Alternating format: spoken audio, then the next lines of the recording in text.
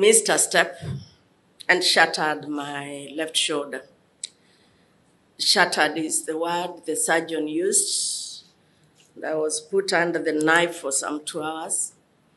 He thinks that he has uh, properly put it together, but it's going to take some, some while to get back. He advises that if I want to get back, I promise you I want to get back, I should not remove the sling. In fact, without the sling, the kind of pain I'm experiencing is, is almost similar to that of childbirth. Um, pray for me also that I may get well. And so, every year I look forward to being here for the reasons I've already given you, and for the reasons uh, Mwalimu Director gave us. But uh, I shall say this.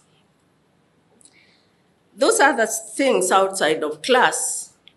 I don't know who you respect more, your wives, or your husbands, or your mom. Whichever it is, after five, it used to be after 4.30. After 5, do not do anything that you wouldn't do in the presence of the three people I've mentioned. Your wife, your husband, or your mom. Um, the rest is for you to conclude. Now, you see, we happen to be very lucky people. We happen uh, to be specially chosen by the Constitution to perform an extremely solemn duty to the people of the Republic of Kenya that pay our salaries with their taxes, ours included, of course. An independent, efficient, and accessible judiciary responsive to the aspirations of Kenyans and a true guardian of the rule of law, for me, ought to be our true north. The only objective for which we exist as judges and as the judiciary. At least that's how I see it. So the realization of this objective to me framed um, the theme of last year's colloquium. I'll remind us that last year we were discussing um, the theme of towards a people centered access to justice, building courts of excellence in this country. Now, this year, we are discussing, or we're here to think about the judiciary's role in realizing the social transformation promise of the 2010 Constitution, looking back, holding ground, and forging ahead. Now, that is a further call to us to live up to the aspirational and transformational ideals for the administration of justice as framed by the 2010 Constitution. In looking back and holding ground, it recognizes our immense efforts and the great strides that we have taken as an institution in forging ahead, and it reminds us that more can be done, and in fact, more must be done. Fellow judges, last year I asked us all, and as I said last year, I asked myself first, then I asked you, what social, social transformation through access to justice would mean to each one of us? You see, our vision is derived from the 2010 Constitution. So, how does it speak to us as judges? And more specifically, in the judicious adjudication of matters that are brought before us. How can a judge consider their role in the wider scheme to social transformation? I challenge all of us, I challenged us all last year to conceptualize how much social transformation can be achieved from within the judicial function, and that is to say, to problematize the very idea of justice that is being accessed. What kind of justice are we availing to those comes seeking it from us? So, both in content and in method, how are we doing it? Judiciary Academy has put together a program through which these three days we shall interrogate and discuss these multiple aspects of social transformation through access to justice. From uh, judicial independence and accountability, the two are a pair, to promoting a multi-door approach to access to justice, to developing indigenous social justice jurisprudence, to measuring qualitative performance and so- social justice impacts of judicial activities, uh, we can all look forward to these three days. And to a most enlightening and revitalizing colloquium. I urge us all to participate and concentrate during the sessions, to engage robustly towards uh, refocusing our energies on the realization of our sturge vision. Our responsibility in this regard is both personal as well as corporate. And we must approach the task with steadfast unity. Thank you, Mwalimu, for inviting me to say those few words. I do hope that they make a difference to someone. Um, they do make a difference to me. I talk to myself more times than I talk to anybody else. Um, at this juncture, I would have said that I invite the Honorable the CJ to talk to us. On her behalf, I shall read the opening remarks uh, she had prepared before she was taken ill. Um, quite a lengthy thing here, but we have to do this. Let's hear what the team leader says about the 2023 colloquium. I shall read what is written.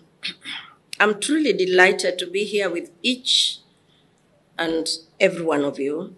This annual colloquium is more than just an event, it is a cherished reunion, a meeting of minds, and a wellspring of collective wisdom.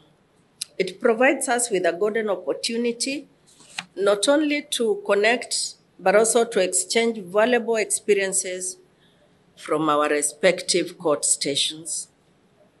Since our last colloquium, we've had a number of new judges who have joined us at the Court of Appeal, the High Court, and the Environment and Land Court in a special way. And with great pleasure, I welcome the new judges to this family and also welcome all of you to this year's Judges Colloquium here at the city of Mombasa. I'd like to uh, express my sincere thanks to the Kenya Judiciary Academy, led ably by the Honorable Mr. Justice Dr. Smokin Wanjala. We have a galaxy of internationally acclaimed jurists, judges, and other experts who will be speaking to us and sharing their experiences and perspectives with us. In particular, I recognize the presence of the Honorable Mr. Justice Emeritus Mohamed Othman, Chief Justice Andrew Nyirenda Emeritus, and Justice Moses Chinhengo for gracing our colloquium to bring us perspectives of judicial independence from the African continent. I also recognize, um, I said I would read what is written. Her Excellency Patricia Scotland, QC, Secretary General of the Commonwealth, who is not able to join us physically owing to the heads of state summits presently underway in Nairobi, she's, however, ably presented by our dear friend, to a friend to the judiciary. The Constitution reflects an in, inflection point in Kenya's journey towards good governance and social justice. Born out of decades of struggle, the Constitution encapsulates the collective dreams of our people to build a Kenya that is democratic, accountable, and, and participatory, and socially just. As judges, we are entrusted with the sacred duty of not merely interpreting this charter, but breathing life into its promise of a more equitable, democratic, and socially just nation. As the custodians of the social transformation promise of the Constitution, the Constitution envisages that we are to be the enablers for the realization of its aspirations. We are to utilize the law to effect positive social change. We can and we must be enablers of the values and principles of governance that are embodied in the Constitution. Now, over 13 years since we began implementing and enforcing the Constitution, it's time to take stock. As the third arm of the government, have we lived up to the promise and potential that this historic character embodies? We must ask ourselves are we delivering justice more effectively than before? Have we as a judiciary become more attuned to the justice needs of our society? Is the Kenyan citizen today more or less likely to walk into a courtroom assured of receiving judicial services that meet their expectations of fairness, excellence in service delivery? These are not rhetorical questions, but a call to introspection, a challenge to align our daily work with the broader goals of social justice and transformation. Indeed, we have much to be proud of in terms of the progress we've made over the last 13 years as the institution of the judiciary. Our courts have issued judgments that are groundbreaking and have been uh, received with acclaim, not just in Kenya, but across the globe. It is an indication that our judiciary doesn't merely interpret laws, it it participates in shaping the ethical and social frameworks within which our nation operates. Beyond jurisprudential developments, at an institutional level, we've done much more to improve the justice journeys of Kenyans over the last 13 years. We've embraced performance management and measurement. We've embraced leveraging on technology that incorporates virtual hearings, case tracking systems, and our latest offering, the ongoing nationwide rollout of e filing that has seen nine counties onboarded to the e filing system as part of our efforts to enhance the efficiency and accessibility of the justice system. We hope to have onboarded all our court stations to the e-filing system by April 2024. We've also made great strides towards ensuring that all Kenyans can conveniently access justice by opening up courts and sub-registries across the country. We are also rolling out tailor-made specialized courts that seek to respond more effectively to the justice needs of the vulnerable groups in our society. In addition, we've now mainstreamed court annexed mediation and alternative justice system as legitimate avenues for access to justice. Also noteworthy are the strides that we are making with respect to expeditious hearing and determination of disputes, an area that has historically been a challenge to the judiciary.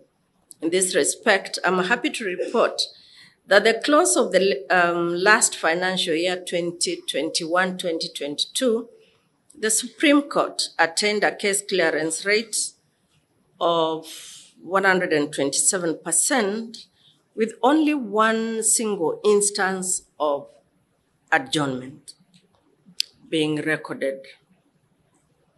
While the Court of Appeal attained a case clearance rate of 70%, with an adjournment rate of 7% of scheduled case events. The High Court attained a case clearance rate of 110%, with an adjournment rate of 7% of scheduled case events.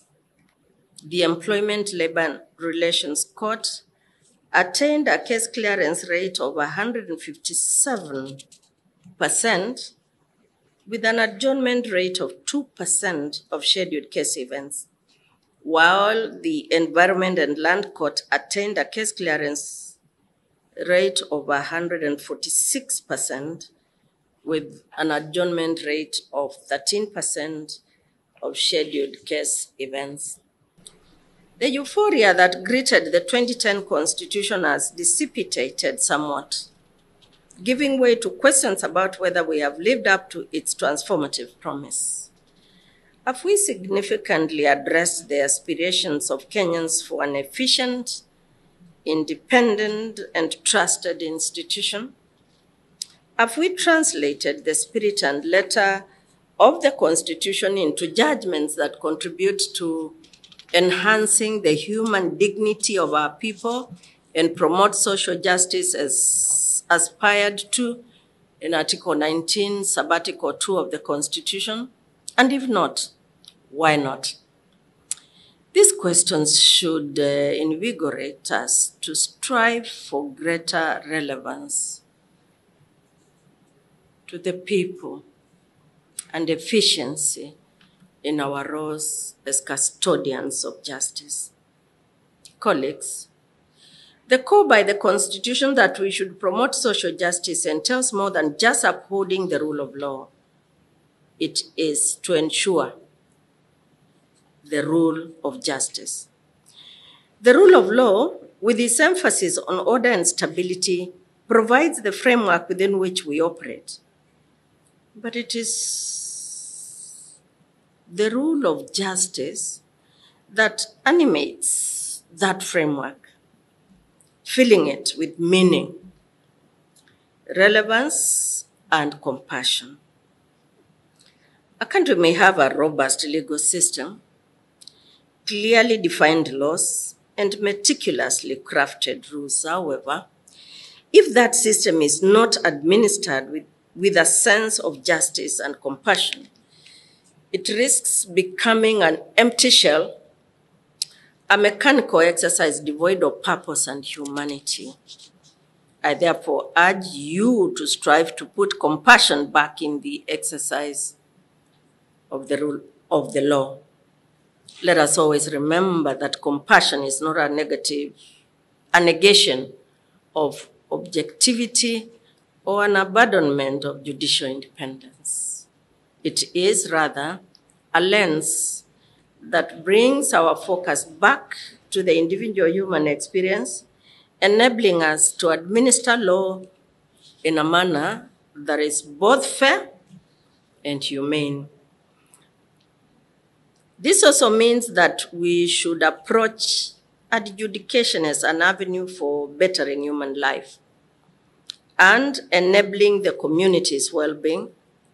In this way, we make judicial work an engine for social good.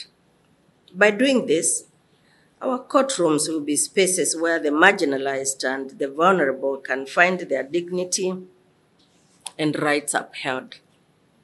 There will be arenas not merely of legal contest, but of human and social betterment. Brother and sister judges, other challenges remain with respect to the independence of the institution of the judiciary. I want to bring to your attention the challenges we are facing with respect to facilitating the administration of justice where other independent institutions encroach on the terrain reserved for either the judiciary or the Judicial Service Commission. Two examples of these challenges will suffice. One, the Judiciary Fund is not operating optimally as envisaged by the Constitution due to bureaucratic bottlenecks and roadblocks erected by the controller of budget. Two, the SRC has encroached on the JSC's mandate under Article 172.1b of the Constitution, which is what? Review and make recommendations on the conditions of service of the staff of the judiciary, falling outside remuneration and benefits for state officers. We are already engaging robustly with these institutions with a view of resolving these misunderstandings in line with the Constitution. And you heard what Commissioner Vice Chair of JSC, Macharia Njeru, told us this morning. Internally, we still have challenges relating to enhancing public confidence and trust in judicial processes.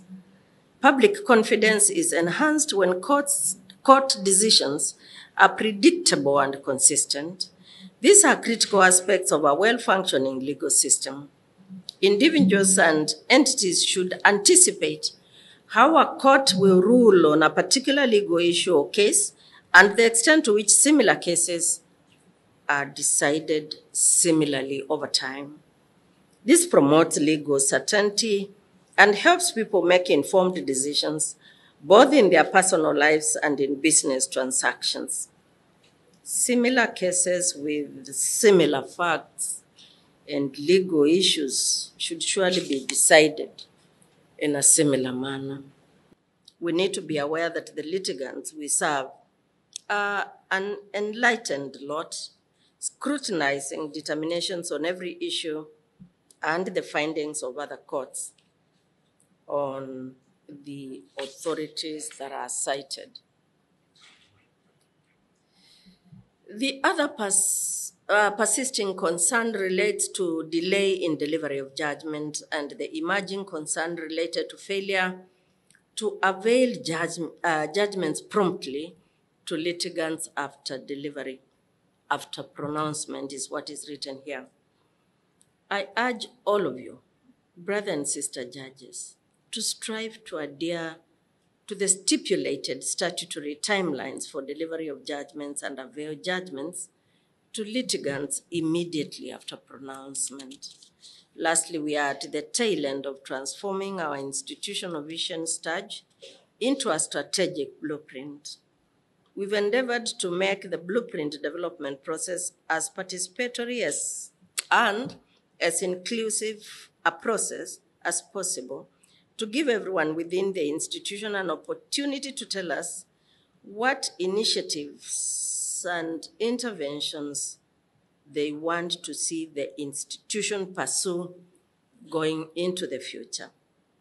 Pursuant to this, there is a short questionnaire, also accessible from a QR code, that will be going around that we urge you to fill to enable us get feedback on which initiatives or priority areas you would like to see the institution, your institution focusing on.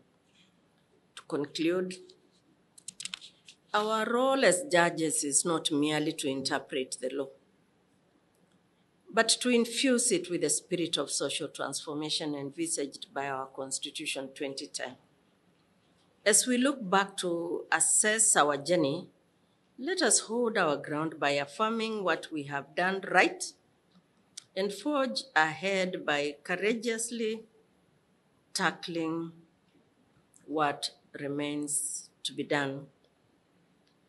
Finally, let the 2023 Judges Colloquium be remembered as the forum where, as the College of Judges of this great republic, we committed ourselves anew to our noble and majestic mandate as enablers of the social transformation promise of the Constitution 2010, let us reaffirm our dedication to a justice that is compassionate, an interpretation and application of the law that serve humanity, and a professional life that above all seeks to uplift and signify each and every Kenyan.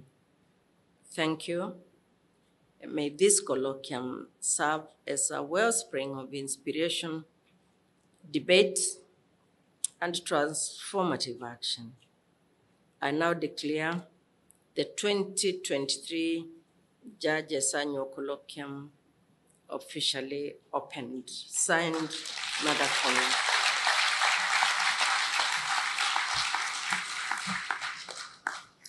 And so we are now officially opened. Uh, of course, we, defer always to director.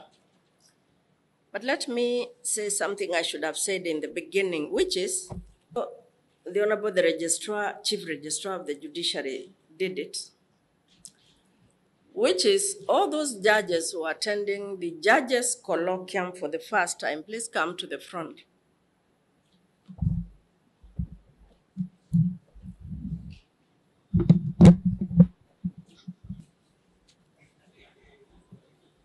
Judges act faster. We endeavor to work as a team.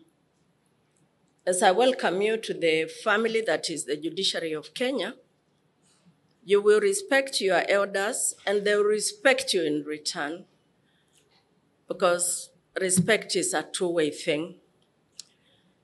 Um, all of us seniors will welcome in the manner we want these babies of ours to the family of the judiciary. Shall we clap?